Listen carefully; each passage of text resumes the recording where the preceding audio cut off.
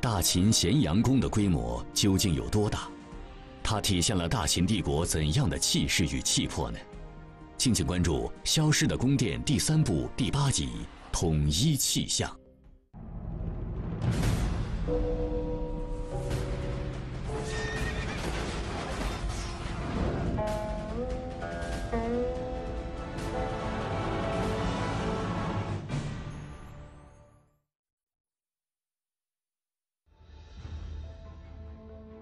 孝公是战国时期最著名的君主之一，他一生主要有两个贡献，一个是重用商鞅实行变法，另外一个就是迁都咸阳。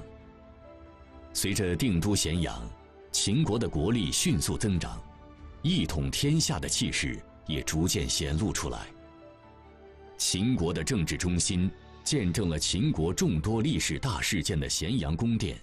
也伴随着秦国统一的步伐逐渐扩张，直到秦始皇统一六国，大秦帝国横空出世，咸阳宫殿群已然建造的遮天蔽日，目不能及。咸阳宫的壮丽与巍峨，不仅象征着皇权的至高无上，也是封建王朝中央集权的政治需要。那么，咸阳宫究竟有多大？为什么连杀人不眨眼的刺客在看到他之后，都被他的规模与气势吓得双腿发软？咸阳宫的兴建与陨落，又为今天的我们带来了怎样的启示呢？百家讲坛邀请北京师范大学李凯副教授，为您精彩讲述《消失的宫殿》第三部第八集《统一气象》。咱们呀说咸阳很不得了。是当时非常伟大的大都会，它代表了秦统一的历史趋势。甭管是岳阳还是雍城，我们说都不能跟秦都咸阳同日而语，因为前者还有诸侯国的特色，它的规模、建筑的水准都是和秦都咸阳不在一个水平线上的。那么这个角度啊。我们说的话，就是咸阳宫真正体现了秦王朝气吞万里的气势。它从商鞅时代开始营建，经历了秦惠王，经历了秦武王、秦昭王，一直到秦王政，漫长的历史发展，就像滚雪球一样，宫殿越滚越大。那有学者统计过，它到底有多大呢？咸阳宫殿群，三点七二平方公里，这是什么一个概念呢？如果您查数据，今天故宫紫禁城是零点七二平方公里，也就是说才是咸阳宫殿群的一个零头。所以这样的宫殿群，在世界上，在当时是绝无仅有的。我们能通过典籍中许多细节，看到。咸阳宫殿群的气魄，大家还记得荆轲刺秦吗？荆轲心理素质非常好，但是荆轲还有一个副手叫秦舞阳，这个人心理素质就不那么好。史书记载呀，就是这个秦舞阳十三岁的时候就杀人，而且别人不准瞪他，瞪他他就要报复，就这么样的一个人，但没想到。他来到秦国之后，进入咸阳宫，开始怯场，打退堂鼓。那么也有书记载啊，说他一怒脸就发白，就是这么样的一个人。这个时候，在秦国宫廷之中，他已经吓得体似筛糠了。什么原因啊？不外乎两点，一点就是他做贼心虚。的确呀，他要刺秦王。甭管成功还是不成功，他们俩都得死。咱们看司马迁在《刺客列传》里头，写荆轲是没弄死了，没写秦舞阳下边怎么样。但是咱们能推知他也活不了啊。另外一方面，就是被当时的阵势所慑服住。咱们看秦国这么大的气势，就对这个刺客产生了这么大的威力。而荆轲呀，心理素质好，他看出来秦国臣子已经觉得异样，你带的这个人怎么这时候他害怕呀？荆轲说：“北方来的边鄙之地的蛮夷之人啊，没有见过天子，所以心里才打颤。”总共用这几句话把他忐忑的心理给折说过去。咱们能通过许多故事看出秦朝宫廷它的巍峨壮大。许多历史场景发生在这里。秦国的崛起可以说是一部慷慨激昂的励志史。从受人鄙视的边陲小国到称霸西戎，从商鞅变法。富国强兵，到统一六国，征服天下。在秦国的崛起之路上，诞生了许许多多雄才大略的君主，更诞生了一大批智勇双全、才华横溢的谋士将领。秦昭襄王时期，秦国已定都咸阳，随着国力的提升，咸阳宫的规模也日渐庞大，象征着王权的咸阳宫殿。建造的愈发华丽，但秦昭襄王却开心不起来。太后与几大贵族掌握着王国实质性的权力，他无法施展抱负。此时，一个人来到了咸阳宫，对秦昭襄王道出了一个影响秦国历史走向的重要方略。也正是这个方略，为秦国一统天下奠定了基础。这个人究竟是谁呢？秦咸阳宫是秦国历史的重要见证。比如说，公元前二百六十六年，这个秦咸阳宫啊，就出现了一场谈话。这场谈话，君臣之间对秦国未来的历史走向进行了仔细的谋划，决定了秦王朝发展的命运。这里君主。就是秦昭王，而那个臣子名字叫做范雎。当然，也有人说那个字读范睢，一般人读范雎。这个范雎啊，他是魏国人，命很苦。他原先是魏国中大夫虚谷的门客。这个虚谷啊，奉了魏国相国魏齐和魏国国君之命，出使齐国。齐国和魏国是死对头，这时候，他在外交场合上，没想到自己的表现不如他这个门客范雎。这个范雎对齐国人的问答算是对答如流，尤其是当时齐国国君齐襄王啊，对范雎刮目相看。这下虚谷心里特别不是滋味。他就怀疑这个范雎当了叛徒，于是回到魏国之后，就在魏齐面前说范雎已经叛国了。这下魏齐大怒，严刑拷打范雎。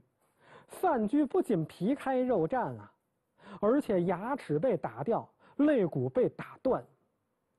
这还不算，这个虚谷和魏齐可真够狠的，把范雎扔到厕所里。任人便溺，让人看到这就是叛徒的下场啊！这时候范雎很聪明，装死，通过这种方式逃过一劫。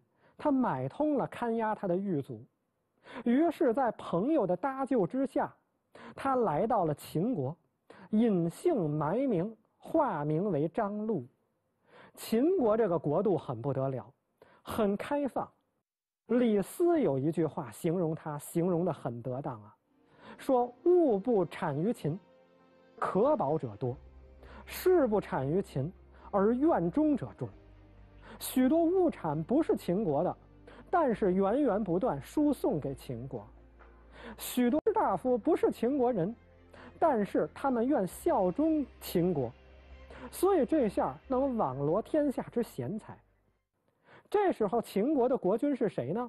就是秦昭王。秦昭王啊，其实他继位已经很久了，但是亡国真正的权力不在他手中，在谁手中呢？在他母亲宣太后以及舅舅穰侯魏冉华阳君手中。我说宣太后您可能不熟，但是我说她就是芈月，您熟悉了吧？所以这个宣太后芈八子实际上是亡国的主宰。当时他的儿子秦昭王就如同木偶一般，得听他妈，得听他舅舅的，所以王心里非常不是滋味儿。这个范雎张禄啊，抓准了时机，等秦昭王出行的时候，他对着秦昭王的车马大喊一声：“说天下人只知道太后和穰侯，不知道陛下。”这话王听了，心里咯噔一下子，这不就是我的软肋吗？这是哪位高人啊？一针见血，所以他找到了范雎，对范雎礼贤下士。恭恭敬敬的在咸阳宫廷之中请教范雎，他问先生：“我应当怎么做？您给我指条明路。”没想到这范雎呀，倒卖上关子了。范雎是是是，对对对。这个王又说一遍，范雎还是唯唯诺诺。最后王急了：“先生，您就不想赐教我了吗？”于是范雎说实话。说我说的这些内容很关键，但是我说的这些内容要离间你们骨肉，有可能我身死，所以我不敢说，我身死不足惜啊。可是您永远是那个傀儡，而且掌握不了亡国实质的权利。这些话让秦昭王出了一身冷汗。秦昭王特别恭敬地说：“我赦免您一切言行，您开诚布公。”于是这个时候，范雎说了他真正的建议。第一条，他说秦国的策略呀，这时候有很大的问题。往往劳师而远征，是兵家之大忌。劳师远征很可能徒劳无功，乃至大败。所以他就建议秦昭王改变这种错误的做法，要远交近攻，结交远方的诸侯国，使得你不会两线受敌，然后进攻，谁离你近你就打谁。他下边接着说：“那么如果要这么做的话，您势必得得到亡国实质的权利，于是一定。”要打击您的母亲，宣太后，排斥您的舅舅穰侯以及华阳君集团，这下就离间你的骨肉，但是你能真正意义上成为秦国的领袖。听了这个话，当时秦昭王如梦初醒，于是，在公元前二百六十六年，秦昭王下令，这个时候收回了太后的权力。罢黜了穰侯和华阳君，那么当时秦昭王才真正意义上成为秦国的国王。咱们看这些故事，都是活生生的例子。许多和历史非常有密切关系的事件，发生在咸阳宫。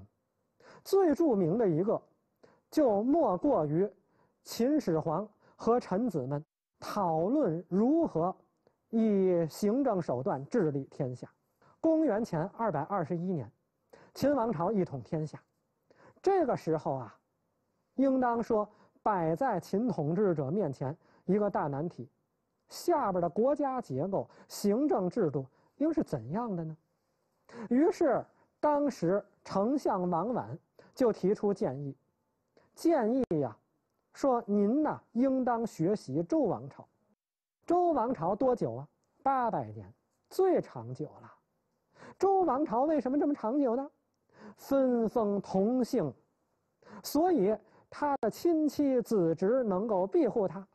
于是建议陛下也分封同姓诸侯，天下长久，效法古代。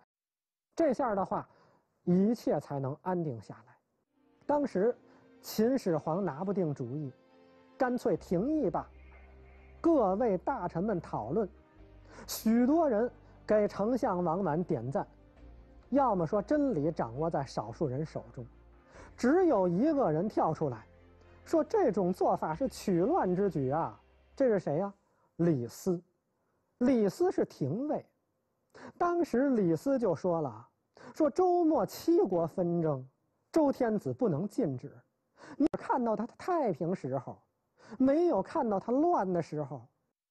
仰仗陛下神灵，海内一统。”今天又分封诸侯，你不是自己找罪受吗？你不是自己树立对头吗？所以这个做法断断不可取。秦始皇明白过味儿，廷尉说的太对了，于是昭告天下，采取中央集权的郡县制度。我们说百代皆行秦政法，这个秦政法很大程度上是表现为。郡县制度为代表的中央集权制，中央集权上传下达，使得天下太平，维系了中国秩序的长治久安。秦昭襄王接受了范雎的建议，秦国的国力再一次增强。这一时期的咸阳宫殿也进一步扩张，许许多多的宫观楼宇在渭水两岸拔地而起。秦国的强盛也引来了其他六国的关注。传说，公元前二百九十九年，一位著名的君主为了打探秦国的消息，竟然偷偷潜入咸阳宫之中。这位君主正是大名鼎鼎的赵武灵王。此时的他虽然已将王位让给了自己的孩子，但以他的身份地位，真的会做出秘密潜入这样的事吗？史书上又是如何描述这件事的呢？咱们看，许许多多的事件都发生在咸阳宫，而咸阳宫廷啊，刚才说了，除了那几个偌大的宫殿之外，还有许多离宫别馆，尤其是到了秦昭王以后，渭水南岸的离宫别馆就越来越多，其中有许多呀，都写在了典册之中。比如说，有一个非常著名的故事，就是当时啊，有一个人来到了秦国，这个人是谁呢？这个人就是大名鼎鼎的赵武灵王。赵武灵王胡服骑射，是有为之君，但是这个赵武灵王啊，公元前二百九十九年就干了一件事儿，他把王位让给了他的儿子赵惠文王。赵武灵王不干了。当时明朝有这样一本书，董说写的叫《七国考》。《七国考》里头有这样一段文字，咱们看屏幕啊，说主父入秦，直至昭王所居，六英之功，而人不绝。这么样一个故事，这个主父是谁？就是刚才咱们说的赵武灵王。他让位以后，号称主父。这个时候，他干了一件神奇的事情，人不知鬼不觉的来到了秦国腹地，来到了咸阳宫。咸阳宫之中有一个宫殿叫六英宫，别人全然不知。干嘛？打探秦国的机密。有的文学作品啊，就把这个故事进行了演绎。比如说，有的作品说呀，当时。战国时候，秦国有一个相国叫楼缓，楼缓的老主上那就是赵武灵王。赵武灵王主父在楼缓的带领之下来到了六英宫，这个时候面见了当时秦国的最高领袖秦昭王以及秦昭王的母亲宣太后，而这两个人啊，惊奇的就发现今天有点不对头。为什么？昔日楼缓趾高气扬，按今天的话非常傲娇，可是今天呢，他面对的这个身边的侍从，仿佛他举手投足之间流露出的是对这侍从的低三下四。这个举手投足间怎么有这种神采？于是这秦国人不解，但是也没问。等主父走了之后，卢缓才说：“你们知道这是谁吗？这就是大名鼎鼎的赵武灵王。当时秦国人大惊失色，秦国宫廷都炸了庙了。这个赵武灵王居然跑到秦国腹地来窥伺军情，那还得了？于是派人赶紧追，哪儿有人了？早跑出去了。所以这个故事是一个传奇故事。我们今天说它呀，许多历史学者认为不真。为什么呢？第一点，就是这个故事太离奇了，这不像一个正常君主能干的，这很像什么大侠的故事。咱们看战国时期，就包括《战国策》在内，许多文字都是不大可靠的，出自战国纵横家之手。他为了游说，可以改编故事，可以把它戏剧化，乃至杜撰，所以许多情节不是那么真。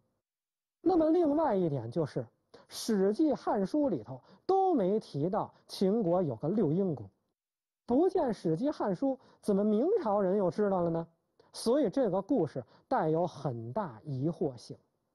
那我们看啊，当时许许多多的琼楼玉宇。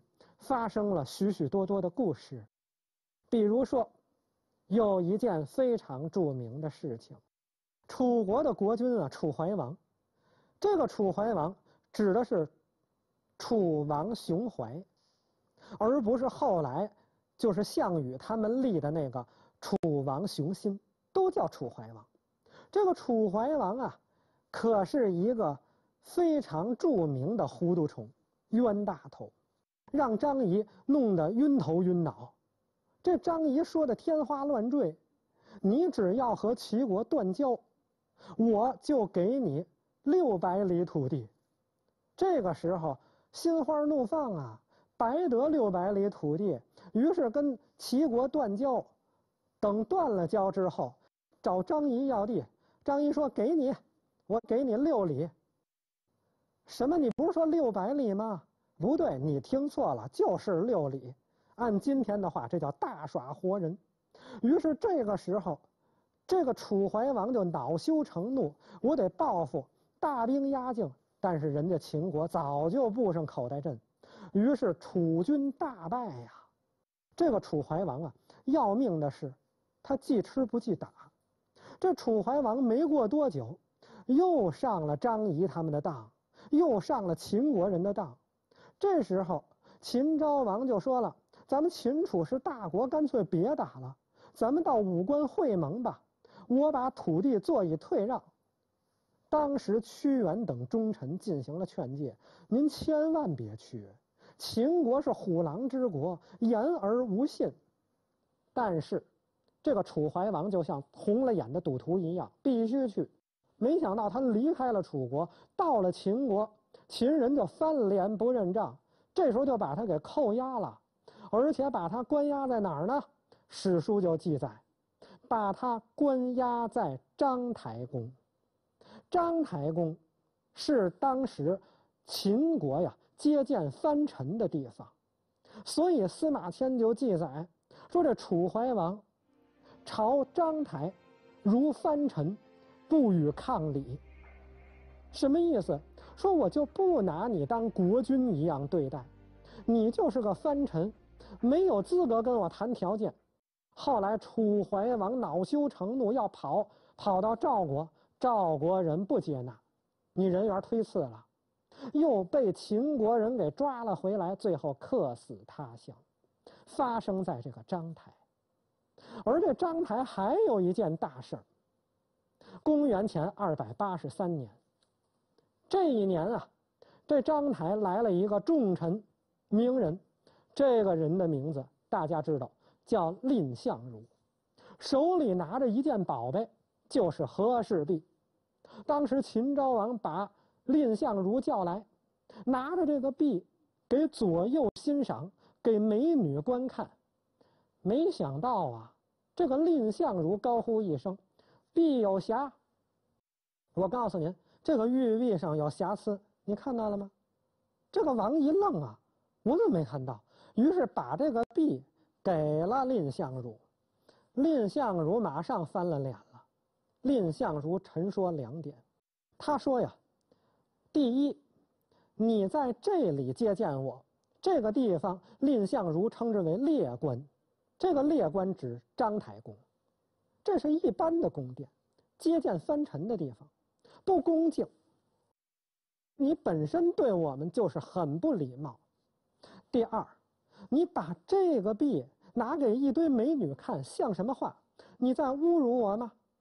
如果你真想要这个币，你就应当斋戒沐浴；如果不想要这个币，看好了，现在我的脑袋和这个币一起杵上柱子，我虽然死，但这个币你也甭想要。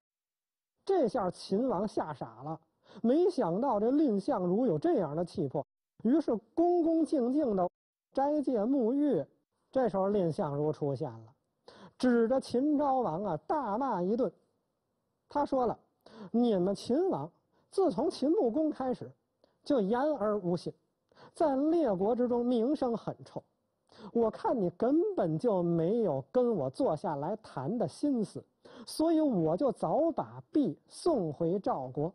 这时候任杀任剐随你。”当时这样的言辞非常有震慑力。秦昭王一琢磨：我杀个蔺相如有什么用啊？杀了他，我也得不到璧，而且秦赵的关系完蛋了。索性放回了蔺相如。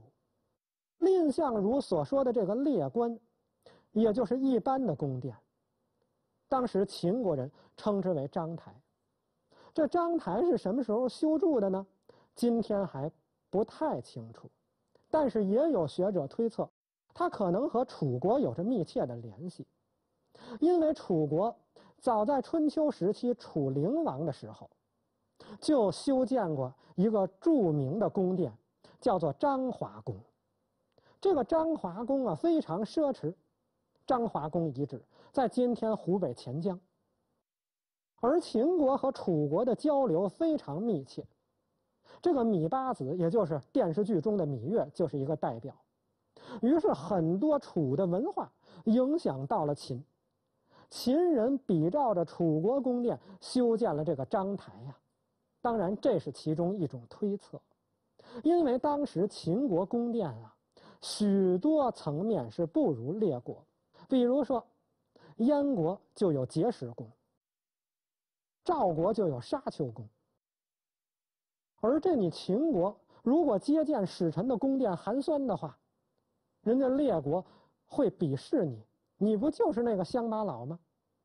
于是秦国修建了章台宫，当然这是一种猜测。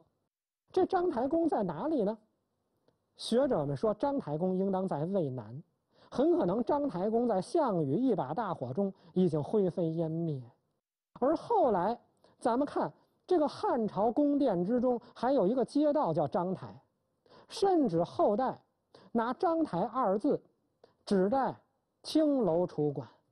咱们都知道有个诗啊：“玉树雕鞍有野处，楼高不见章台路。”古代诗歌作品之中屡见章台，成为一个著名的典故。史书记载，秦始皇每破诸侯，写放其宫室，坐之咸阳北坂上。每攻破一个诸侯国。便将其宫殿复制在咸阳宫的附近。从这件事来看，秦始皇的野心与雄心彰显无疑。咸阳宫不仅是一座巍峨壮丽的宫殿，更是秦朝统一六国征程的重要见证者。公元前二百零七年，项羽一把大火将咸阳宫夷为平地。熊熊燃烧的火焰。是六国人民的怨恨与悲鸣。秦朝曾经的辉煌与它的短命，为我们带来了怎样的启示呢？请继续收看北京师范大学李凯副教授为您精彩讲述《消失的宫殿》第三部第八集《统一气象》。除了章台之外，还有许许多多的宫殿，比如说著名的秦甘泉宫。这个秦甘泉宫啊。咱们查史书就会发现，它和汉的甘泉宫压根儿不是一个。秦的甘泉宫呢，就在渭水南岸。这秦国的甘泉宫什么时候建造的也不太清楚，但是它见于史籍。史书上就记载，当时太后芈八子，也就是咱们电视剧中的这个芈月，干了一件非常让人觉得瞠目结舌的事儿。秦国呀，有个心腹大患，是个蛮夷，叫义渠之戎。义渠王跃跃欲试，就像一把利刃似的悬在头上。这个时候，宣太后靠着自己的手腕。剪除义渠之戎，杀义渠王。当时，他和义渠王生了两个孩子，然后这个时候，义渠王完全丧失了警惕性，索性就被芈八子杀掉，而且自己生的孩子也杀掉。这个事情就发生在甘泉宫之中。那我们说呀，秦国宫廷之中有许多琼楼玉宇。今天考古学家发现了一个又一个，但是是被项羽一把大火给烧光的。所以这些遗址到底对应哪些宫殿？学者们还在讨论。比如说，在二十年前，陕西西安六村铺项家巷村就出现了大量的秦风泥。这秦风泥是什么东西？是秦代的封条，咱们知道这个竹简啊，在结绳系扣的地方，怕中途被人偷看，所以古人在上面盖了一块黄土泥，黄土泥上还会盖官印，这个泥就叫封泥。当然还有封泥的其他装置。我们说这个泥啊，集中在陕西西安六村铺项家巷出土，数量很大。人们发现这个封泥是十字界格居多，它是典型秦封泥的特征。那好，为什么在这儿出现了这么多封泥？这肯定是秦宫廷的一个办公区，竹简销毁了，封泥还留下来。那么这到底是什么地方？可能是当时秦甘泉宫的遗址，也有学者认为这可能是信宫极庙。当时啊，秦始皇有一个特殊的办公所在，叫做信宫。众多的奏章送到了信宫，秦始皇是个著名的工作狂，所以大量的封泥在这儿出土很正常。秦始皇死后，这个信宫就改成叫极庙，为什么呢？因为人间有皇帝，天上有上帝，人间有皇宫。天上也有紫微星，人和天一一对应，表现了当时天人交融的历史认识。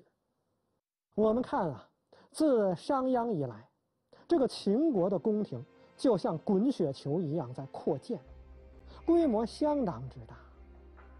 然而，到了秦始皇的时候，又出现了新的一页。秦始皇啊，据司马迁说，每打下六国一个国，就把这个国的琼楼玉宇仿制在咸阳北板上，所以这个咸阳周围就有许多列国的风格呀，洋洋大观。大家知道，古代宫廷之中，咱们如果看秦宫戏、汉宫戏，也会发现，巍峨高大的建筑之间。有空中往来的道路，这个东西就叫做阁道，又叫复道。秦始皇啊，为复道，这个复道啊，干嘛呢？自阿房渡渭，从阿房宫一直能渡过渭河。那也就是说，这出现了一个空中桥梁或者其他桥梁，自阿房渡渭，主之咸阳。咸阳在北，阿房在南，中间是渭水，由这些设施连接起来，它有它的象征。以象天极隔道绝汉地应时也。司马迁交代了这么一句话：这句话呀有不同的断句，一般是这么认为，说这就象征啊，天极格道，渡过汉水，到达营市一样。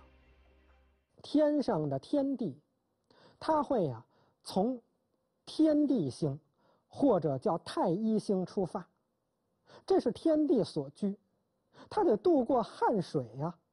通过什么来渡过呢？通过阁道。刚才说了，复道、阁道这种东西，渡过汉水，到达营市星，所以天上的主宰在营市和天地星之间循环往来。而天上有天帝，人间也有皇帝，那就是秦始皇。秦始皇也要这么往来，他从渭水北边的咸阳宫走到渭水南岸的阿房宫。当然，阿房宫后来证明没有盖好，可是他也往来过，就像天地一样。这么大的历史气势，咱们看史书的记载和考古资料。是能够吻合在一起的，那我们说，这就是统一的气魄了。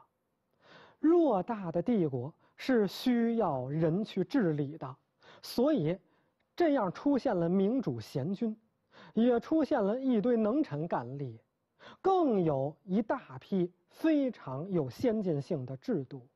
关键是秦的气数非常短，谁也没想到来得快，去的也快。所以这就给人留下了很多思考：秦王朝这么优秀，这么有效率，这么能够征服，关键是他为什么这么短就亡国呢？是亡在制度上，还是亡在暴政上？今天看，很可能是后者。我们说，你建立的一系列制度，应当符合天意人心。如果说你的制度、你的策略、措施再好，只是对你好，而不对天下苍生好，那天下苍生也不会买账。于是戍卒叫，函谷举，出人一句，可怜焦土。应当说，这样的历史教训，足以让后人产生深思。好，这一集我们就讲到这里，谢谢大家。